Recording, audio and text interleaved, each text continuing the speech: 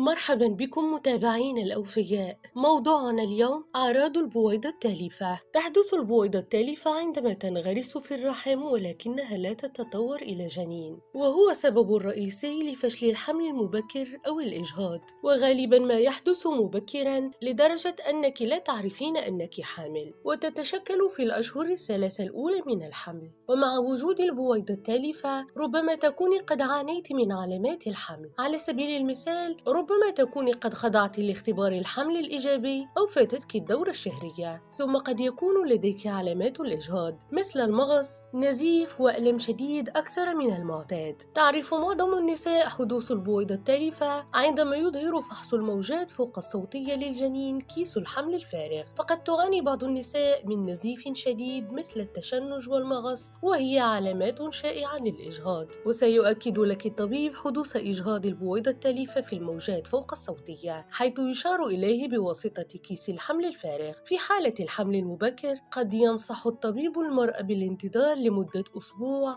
ثم القيام بتكرار الموجات فوق الصوتية فقط للتأكد من عدم وجود الجنين. ومن الجدير بالذكر أنه إذا كنت تشعرين بأي من هذه العلامات فربما تعانين من الإجهاض. لكن ليس كل النزيف الذي يحدث في الأشهر الثلاثة الأولى ينتهي بالإجهاض. لذا عليك التأكد من مراجعة الطبيب على الفور. عند حدوث البويضة التالفة لا تنقسم الخلايا أبدا إلى درجة تكوين الجنين أو قد يتوقف الجنين عن النمو بعد وقت قصير جدا من انغراسه في الرحم.